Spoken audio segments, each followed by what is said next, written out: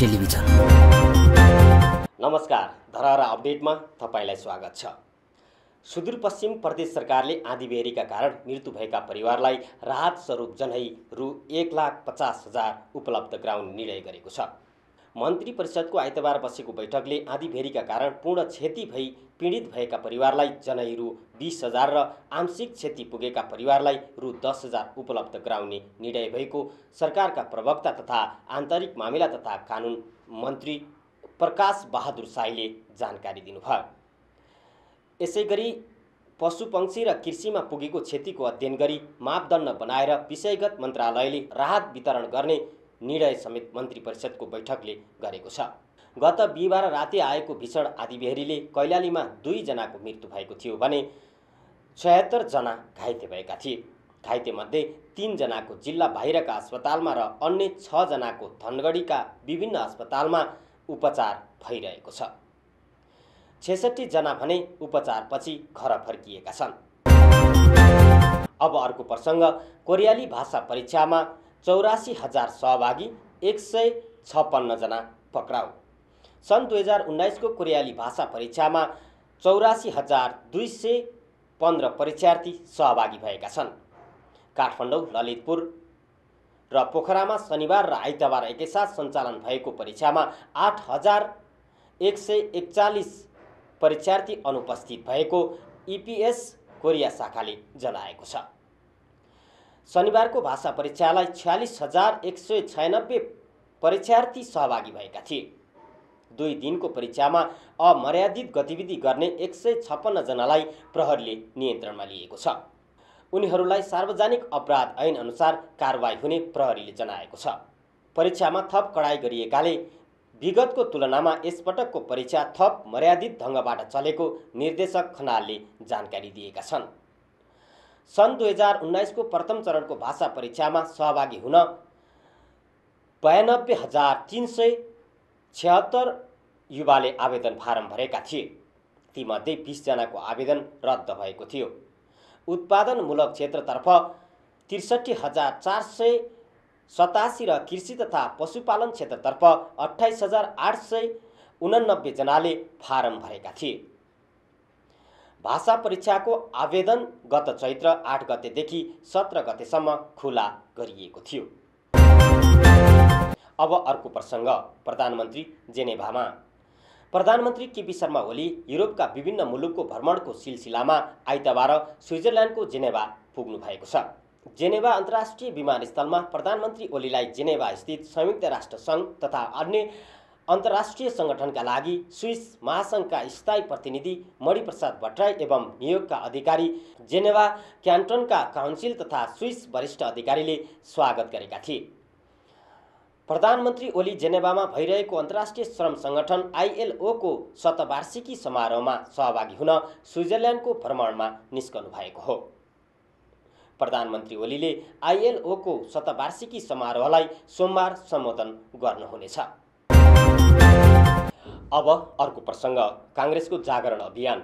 नेपाली काङ्ग्रेसले सञ्चालन गरेको पहिलो चरणको हिमाल पहाड तराई मधेस नेपाली काङ्ग्रेसको राष्ट्रिय जागरण अभियानले पार्टीमा नवीन ऊर्जा अभिवृद्धि भएको जनाएको छ। पार्टी सभापति शेरबहादुर देउवाले जारी गरेको विज्ञप्तिमा वैशाख पच्चिस गते सुरु भई यही जेठ पच्चिस गते सम्पन्न भएको राष्ट्रिय जागरण अभियानले पार्टीका नेता तथा कार्यकर्तामा नवीन ऊर्जा अभिवृद्धि भई सम्पन्न भएको बताएका छन्। अब अर्को प्रसङ्ग। नाक भाँच्ने धम्की फिर्ता। पत्रकारको नाकको डाँडी भाँच्न एक करोड छुट्याएको छु भन्दै विवादमा तानिएका इटहरी उपमहानगरपालिकाका मेयर द्वारिकालाल चौधरीले सञ्चार जगतप्रति चोट पुर्याउने आफ्नो कुनै उद्देश्य नरहेको प्रष्ट पारेका छन्। आइतबार साँझ एक विज्ञप्ति जारी गर्दै चौधरीले प्रेस जगतलाई आघात पुग्न गएको विचार फिर्ता लिन चाहेको बताएका छन्। मेरो सञ्चार जगतप्रति चोट पुर्याउने कुनै मनसाय छैन र आगामी दिनमा पनि रहने छैन विज्ञप्तिमा चौधरीले उल्लेख गरेका छन्। एकजना पत्रकार मित्रले फेसबुक कमेन्टको विषयलाई लिएर मलाई आक्रोशपूर्ण फोन गरेपछि भएका संवादका क्रममा आवेगजन्य परिस्थितिका कारण मेरो व्यक्त भनाइहरूबाट उहाँ र सञ्चार जगतमा पर्न गएको चोटप्रति दुःख व्यक्त गर्दछु। मेहर चौधरीले इटहरी उपमहानगरपालिकाको प्रेस स्वतन्त्रताप्रति प्रतिबद्ध रहेको पनि बताएका छन्। आफू भ्रष्टाचार विरुद्धको शून्य सहनशीलताको अभियानमा रहेको यो अभियानमा सञ्चार जगतको रचनात्मक भूमिका अपरिहार्य रहेको चौधरीले बताएका छन्। अब अर्को प्रसङ्ग प्रशासकीय अधिकृत निलम्बित। सरुवा गरेको ठाउँमा नगएको आरोपमा रौतहट गौर नगरपालिकाका प्रमुख प्रशासकीय अधिकृत सुमन कार्की निलम्बित भएका छन्। सङ्घीय मामिला तथा सामान्य प्रशासन मन्त्रालयले शैले शिखर नगरपालिका दार्चुलामा दुई हजार छत्तर जेठ दुई गते सरुवा गरेको पटक पटक लिखित तथा मौखिक जानकारी गराउँदा पनि अटेर गरेको कारण देखाउँदै कार्कीलाई निलम्बित गरेको हो। विभागको अवज्ञा गरेका भन्दै निजामती सेवा नियमावली दुई हजार पचासको नियम एक सय चौबिस बमोजिम एक्काइस दिनको म्याद पनि गुजारेको कारण राख्दै निजामती सेवा ऐन दुई हजार उनपचासको दफा चौसठी तिन बमोजिम दुई महिनाका लागि निलम्बन गरिएको मन्त्रालयका सचिव यादव प्रसाद कोइरालाद्वारा जेठ चौबिस गतेको हस्ताक्षरित पत्रमा उल्लेख छ। अब अर्को प्रसङ्ग करडी आरोपमा एक युवा पक्राउ। विवाहको आश्वासन देखाई एक युवतीलाई करडी गरेको अभियोगमा मोरङ प्रहरीले एक युवकलाई पक्राउ गरी सार्वजनिक गरेको छ। जिल्ला प्रहरी कार्यालय मोरङले दिएको जानकारी अनुसार विराटनगर बाह्र घर भई विराटनगर दस सोमबारे हटिया नजिकै बहालमा बस्ने पच्चिस वर्षीय विवेक भन्ने दिव्य पौदारलाई मोरङ प्रहरीले पक्राउ गरेको हो। निजले विराटनगर चौध कि सोह्र वर्षीय एक युवतीलाई विवाह गर्छु भनी ललाई फकाई गत वैशाख दस गते कोठामा लगी करणी गरेका थिए। अब अर्को प्रसङ्ग बागमतीको कारलाई अघि नै फोहोर। बागमती सफा बनाउन पच्चिस वर्ष अघि स्थापित अधिकार सम्पन्न बागमती सभ्यता एकीकृत विकास समितिको कार्यालय अघि नै फोहोर भएपछि स्थानीयवासी सफाइमा जुटेका छन्। गोहेश्वरी मन्दिर अगाडिको चौर र बागमतीको उद्यानमा सफा गरी त्यहाँ जम्मा भएको फोहोर व्यवस्थापन गरिएको बागमती अभियान कर्मी पद्मराज ढेग्मीले जानकारी दिएका छन्।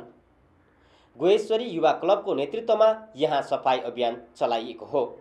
बागमती लगायत उपत्यकाका नदी सफा गर्ने कार्यदेश पाएको कार्यालयले आफ्नै अघि समेत सफा गर्न सक्दैन भने अन्यत्र कसरी गर्ला भन्ने प्रश्न उब्जिएको स्थानीयवासी रामशरण पाण्डेले गुनासो गरेका छन्। हवस् त धरहरा अपडेट आजलाई यति नै। नयाँ प्रसङ्ग लिएर फेरि उपस्थित हुने बाचाका साथ आजको लागि बिदा हुन्छौँ। नमस्ते।